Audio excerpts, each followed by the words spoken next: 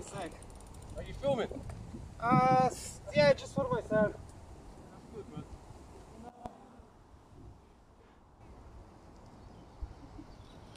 man.